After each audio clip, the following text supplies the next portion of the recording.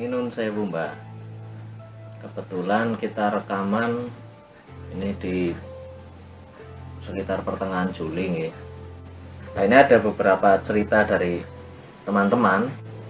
Kan ada yang tingkatan SMP saja itu satu setengah padahal ini dalam kondisi pandemi satu setengah juta masyarakat ekonominya sedang sulit ada lagi yang sekolah plus pesantren itu ketemunya total tiga setengah juta Pak. dalam pandangan panjenengan pendidikan negara kita itu semestinya seperti apa Mbak? Apakah harus biaya yang seperti itu atau bagaimana? Wong wilahing jati nuwuni hajat hajat Nusantara tapi tapi urusan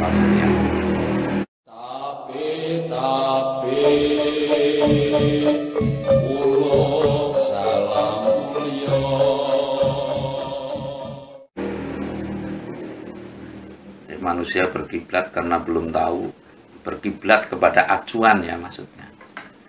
Karena belum tahu paham persis kepada hukum sebab akibat yang intinya tidak tersadar bahwasanya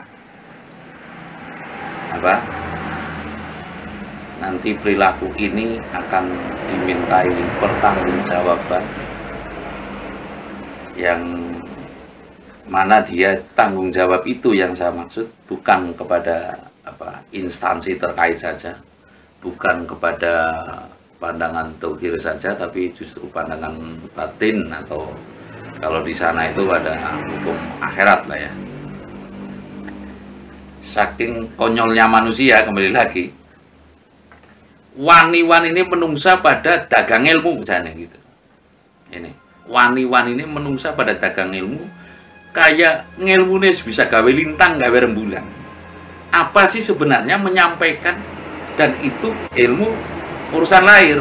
Contoh anak bangsa ini dididik H2O anak bangsa ini dididik baratnya yang yang ilmu geografi dan sebagainya. Ini kan fisika, kan gitu. fisika dan sebagainya. Ini kan H2O nantinya kan dirasa tapi apa ya?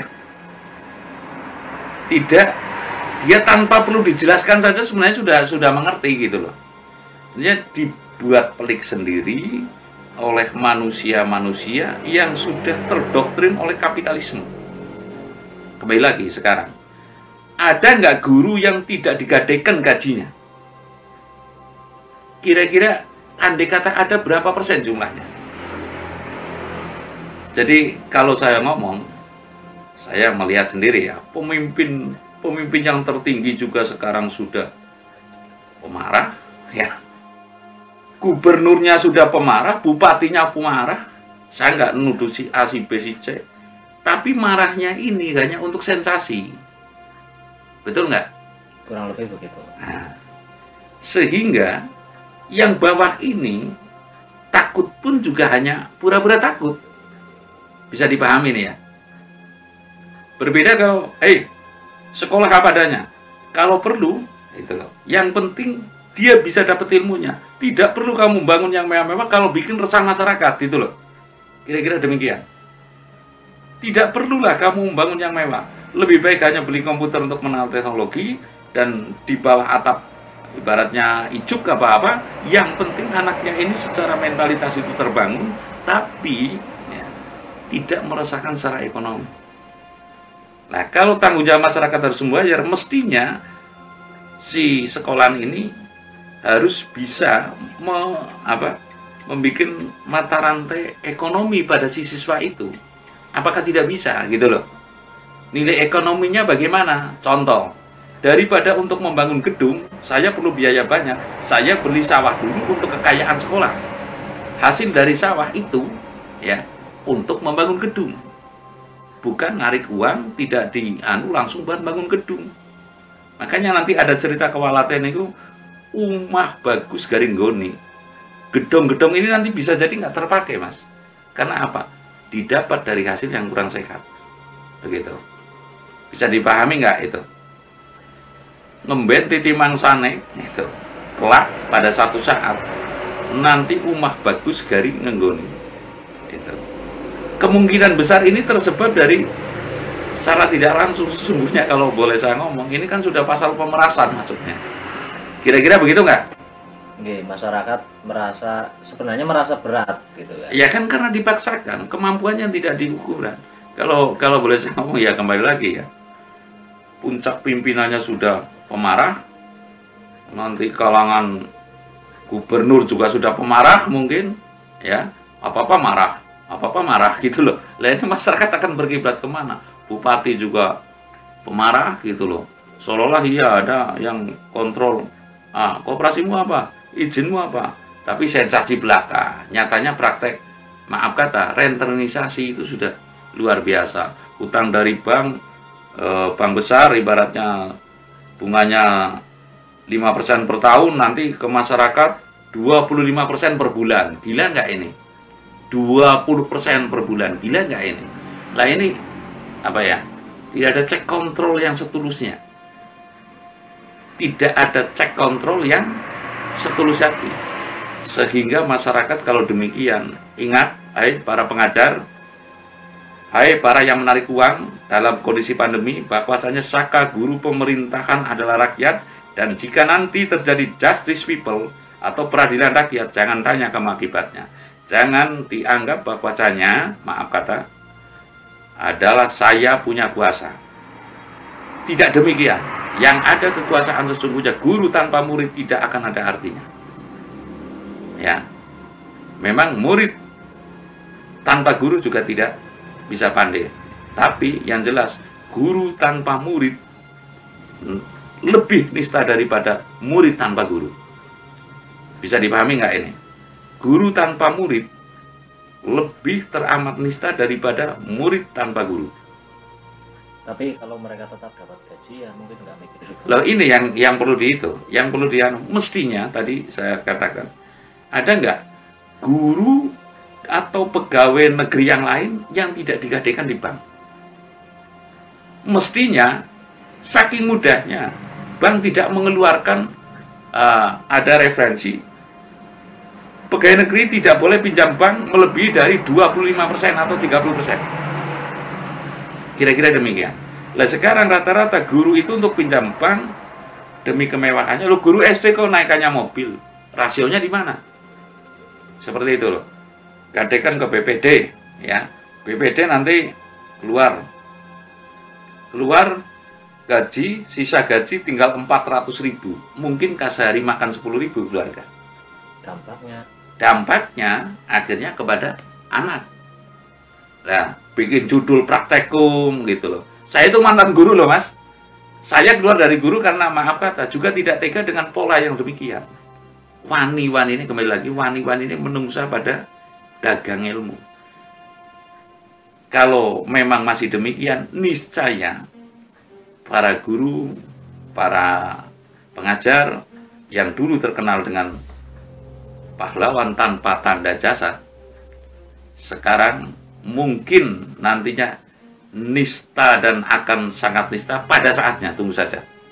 Pada saatnya nanti maaf kata karena faktor alam ini nanti engkau bisa akan sangat nista karena ulah dan ucapannya titiman sana woi itu wong sing dagang ilmu woi. Itu loh.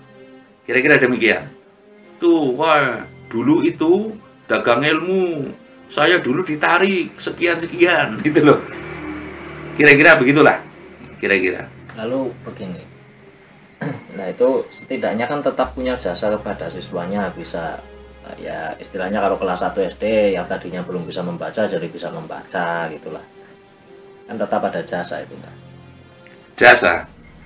Jasa antara jasa ini kan berarti menjual jasa kan. Perusahaan jasa jadi Perusahaan jasa kan.